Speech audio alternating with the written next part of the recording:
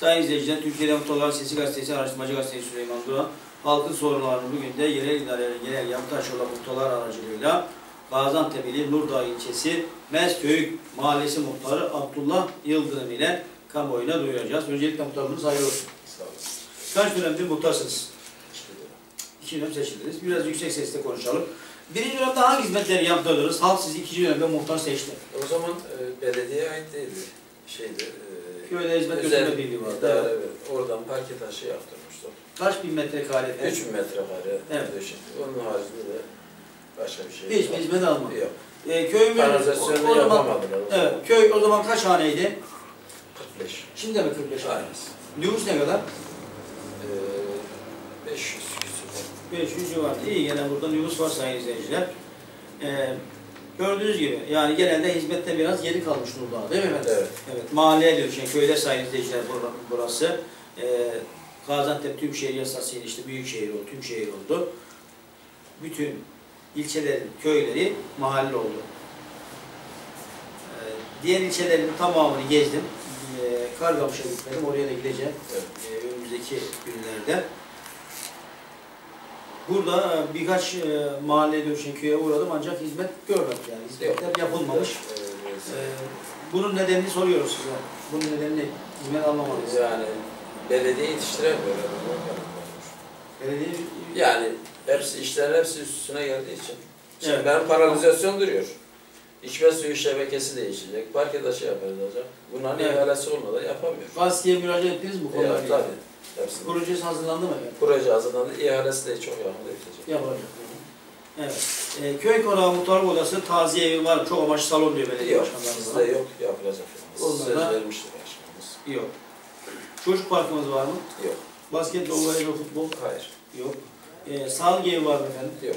Sağlık evleri çok önemli sayın izleyiciler. İşte doktorlar genelde aile hekimleri köyleri ziyaret ediyor değil mi? Mahalleye dönüşen köyleri. Doktorun geldiğinde steril bir ortam mutlak olmalı. Birçok yerde görüyoruz. Camilerde veya da işte kahvanelerde yapıldığını gördük, şahit olduk. Üzülerek buradan belirtmek istiyoruz. Ee, bununla ilgili işte doktor milletvekilleri yapmış, yapmış olduğumuz röportajdan nüfus kriterini baz aldıkları ve ilçeye olan uzaklığını baz aldıkları belirtmişti. Sizin nüfusunuz 500 civarında. 500 kriterini almışlardı. İlçeye kaç kilometre uzaklıktayız? 7, 8 kilometre. 8 kilometre. Fazla uzak değil ama yine de olması lazım değil mi? Yakınızda hangi köyler var? Mahalleye Gedikli düşen. var. Gedikli var. Evet. e, Yani tarafta Bekirler var. Belkınar var. Çakmak var. Çakmak. Baba var.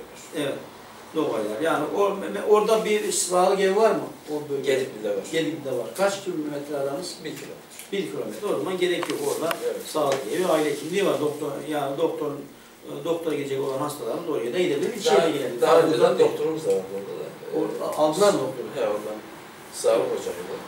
Oradan Aile hekimliğine diyordum sağlık ocakları sayıcılar ama orada bölgede 6-7 tane mahalleye dönüşen köy var. Nereden baksa orada 7-8 bin nüfus vardır. Var. Tamam toplamında. Mutlaka biz aile hekimliğinin orada devam etmesini istiyoruz. Ulaşım hattı kondu mu? Orası grup yolu. Nasıl? Ulaşım, Büyükşehir Belediyesi ulaşım hattı koymuyor efendim otobüsü. Daha. İstediniz mi bölge muhtarları olarak? Şu an için isteyen olmadı. Evet. E, Devlet hastanemiz var gördüğüm kadarıyla.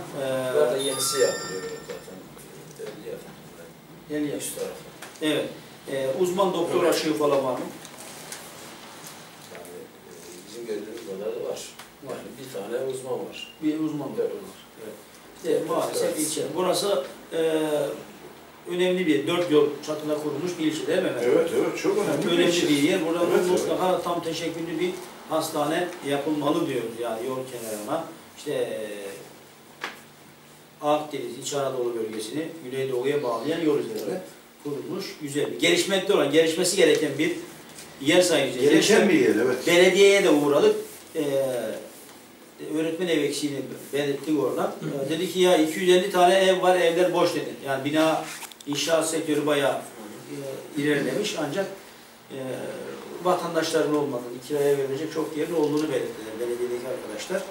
E, tabii işte İslam önemli, İslam. E, iş burada gördüğüm kadarıyla otomotiv sektörü, alım, oto alım satımı fazla ilerlemiş. Evet. Türkiye'de yani bir Maraş'a giderken burada insan e, zevk alıyor yani her yer araç dolu. Özellikle bu e, ticari araçlar, Ford marka söyleyebiliriz yani Ford Trust marka araçlar almak isteyenler.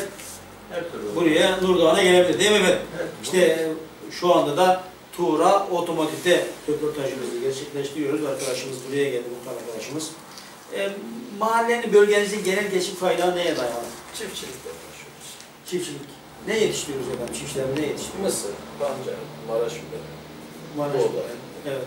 Yani Maraş biberi de Antep biberi, isot denir ama Maraş biberi daha e, güzel. Geçen ben bu Biber, e, tüy şeyden aldım. o İsot Fatih- ondan oluyor aynı güneşçiyle yakıp öyle yapıyor. onu yakıp Muşambada yakıp isot yapıyorlar aynı biber var. Aynı biber değil Yok mi? yok biber değişik, isot değişik de Evet, Maraş biber Maraş vardır. biberi olarak geçiyor ama Antep, İslahiye, Nurdağ üretiyor biberi. Doğru onu da öğrendim. Ha, Evet, böyle- biber böyle- burada- En çok üretimi bu iki bölgede oluyor. Ha bu bölgeden çıkıyor doğru mu? Yani Nurdağ'yla e, İslahiye İslahiye, arasında, Mesela evet. İslahiye bölgesinde en azından 15 tane biber fabrikası var. İsim Maraş Bizim burada da var. İsim Maraş. Ama Maraş. Maraş biber olarak geçiyor. Maraş biberi olarak geçiyor. Burada üretiliyor. Yani Nurdağ bölgesinde üretiliyor ancak Maraş biberi olarak geçiyor. Ama çok da güzel bir biber sayı izleyiciler.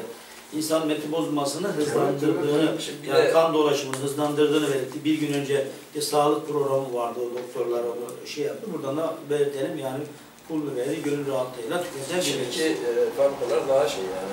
E, Hijyenik değil mi? Hijyenik tabii yani. Hemen hemen el değmeden üretim yapılıyor. Evet. Ee, arkadaşlarla konuşmak ister misiniz? Gerçi Türk Bu oldu. konuda bir bilgimiz yok. Evet. Biz yani Evet. bildiğimiz kadarıyla sorulan soruya bir cevap veririz. Başka türlü yan bir şey yapamayız. Evet, evet burada sosyal güvenlik birimlerinin halen devlet yatırmıyor. Ancak buna istinaden biz hep yayın yaptık. E, gazetemizde yayınlar işte canlı röportaj yapıyoruz. Dünyanın ana motorunu atıyoruz. 1300 lira seviyesine, asgari ücret seviyesine geldi. Yeterli mi? Sesika primlerinizi devlet yatırmalı mı? Yani bence yatırması lazım. Değil mi? Tabii. Neden? Çünkü halk oyuyla seçiliyor sayın izleyiciler. Yani. Muhtarlarımız Bir halk oyuyla, zaman, bir köyde bir şey olduğu zaman seni biliyor. Karakol seni biliyor. halk seçilen yöneticilerimiz, belediye başkanı, milletvekili ve sayın cumhurbaşkanımız Recep Tayyip Erdoğan halk oyuyla seçildi. Yönetici doğru mu? Evet. Birinci basamağında kim var? Muhtar var. Son basamağında da Cumhurbaşkanımız var. Her haftada toplantı yapıyor Evet. sizlere. Ee, işte muhtarların sorunlarını dile getiriyor. İnşallah bu sosyal güvenlik birimi konusunu da çözeceğine inanıyoruz. Katkıları sağlayacak mutlaka. Ekleyeceğiniz konu var mı efendim? Yok. Evet Sayın Cumhurbaşkanı, gördüğünüz gibi e, Türkiye'de Muhtarların Sesi Gazetesi halkın sorularını muhtarlar aracıyla tüm dünyaya bugün de Gaziantep ili Nurdağ ilçesi Mesköyük Mahallesi Muhtarı Abdullah Yıldırım'ı duyurdu. Kendisine Türkiye'de Muhtarların Sesi Gazetesi röportaj verdiği için teşekkür ediyoruz. Başarılar devam ediyoruz.